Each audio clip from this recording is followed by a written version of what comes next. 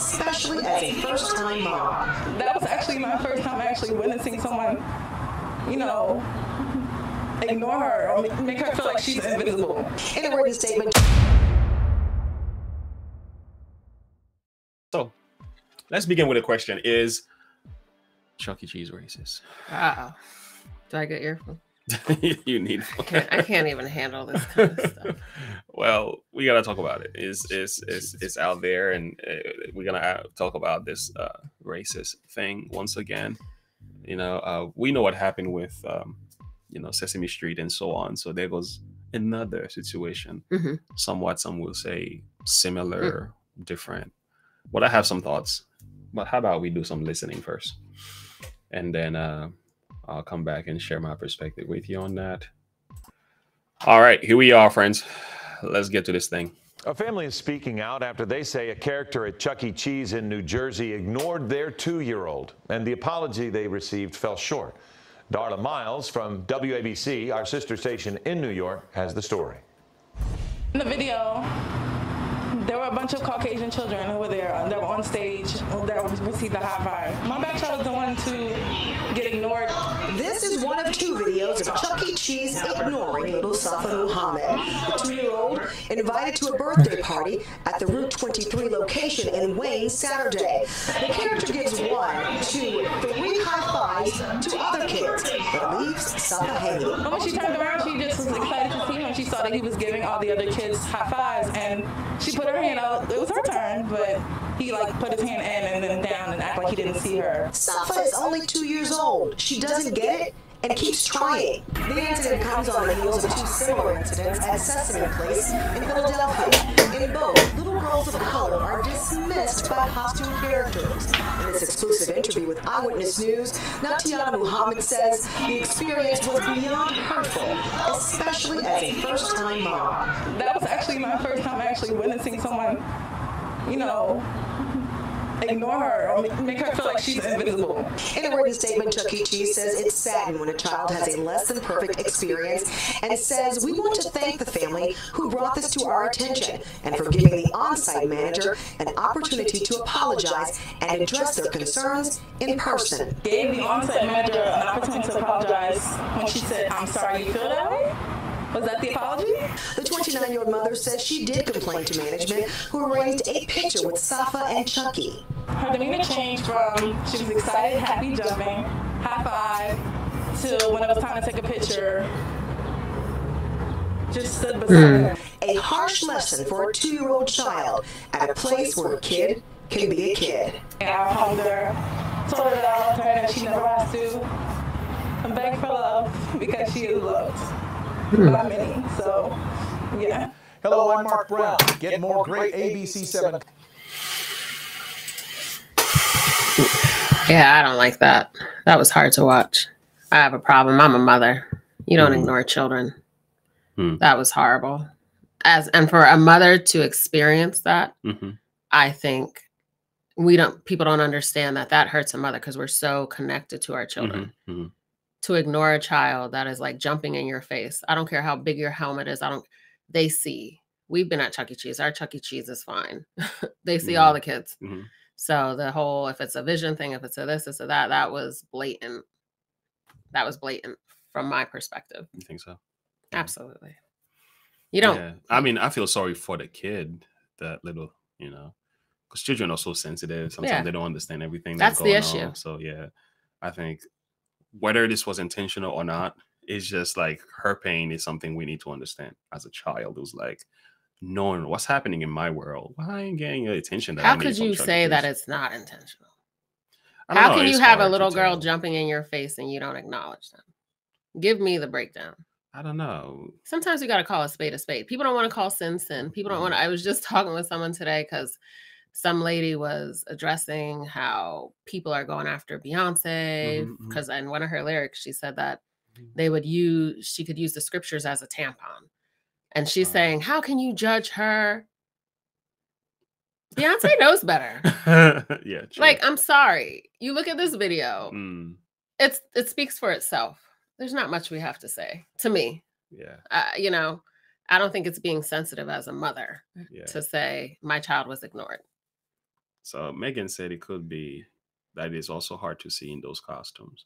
Here is where I have an issue with I this. have an issue with it because we take our kid to Chuck E. Cheese all the time. That's what I was gonna say, him. and that's exactly what I was gonna say. Not we take the our kids to Chuck E. Cheese all the time, she was jumping. but here's She- the thing: most kids that are in Chuck E. Cheese suit are like 16 years old. Is it's like think about it, like 16 years old. Are we really saying 16 years old are racist?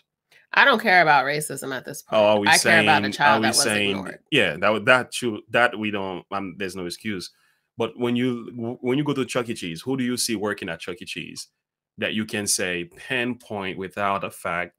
These are And do you- people who may not like Hold black on. kids. So are it's like you are, do you are you saying 16 year olds aren't racist? I'm not saying 16 year olds aren't racist, but how many 16 year old do you find really that are racist Because I know growing up, this one girl said, "Did you roll in dirt?" Like I've experienced racism from a Mhm. very young age. Yeah, I'm sure it, it is. So, it does exist. and and and all through high school. So Mhm. 16 year olds can be very racist. okay.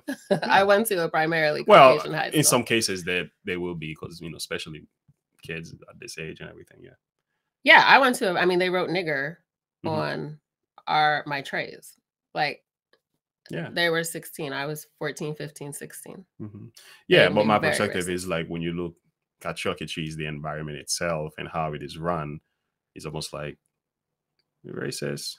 It's like it'll be nice to see, like, although although I know that probably won't change anything so much, but it will change perspective though.